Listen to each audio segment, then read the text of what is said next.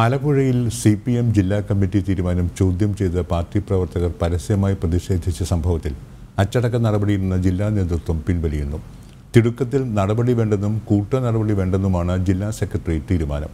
അതേസമയം പ്രതിഷേധക്കാർ സംസ്ഥാന നേതൃത്വത്തിന് പരാതി അയക്കേണ്ട നീക്കത്തിൽ നിന്നും തൽക്കാലം പിൻവാങ്ങി.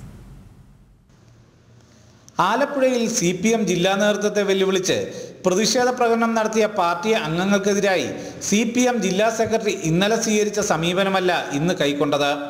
ഇത് അച്ചടക്ക നടപടിയിൽ നിന്നും ജില്ലാ നേതൃത്വം പിൻവാങ്ങുന്നുവെന്ന സൂചനയാണ് നൽകുന്നത്.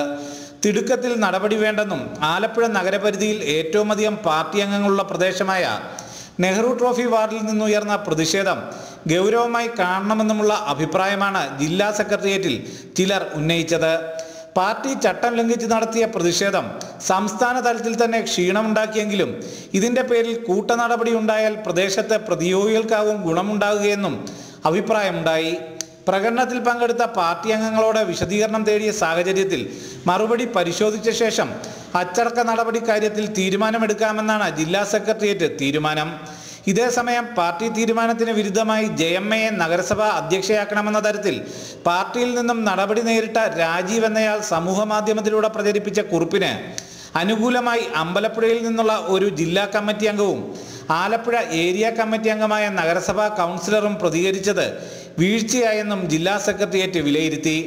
ഇതേസമയം ഇന്നലെ ജില്ലാ സെക്രട്ടറി മാധ്യമങ്ങൾക്ക് മുന്നിൽ പറഞ്ഞ നിലപാടിൽ നിന്ന് ജില്ലാ സെക്രട്ടറിയും പാർട്ടിയും പിന്നോക്കം പോയെന്നത് ശ്രദ്ധേയമാണ്.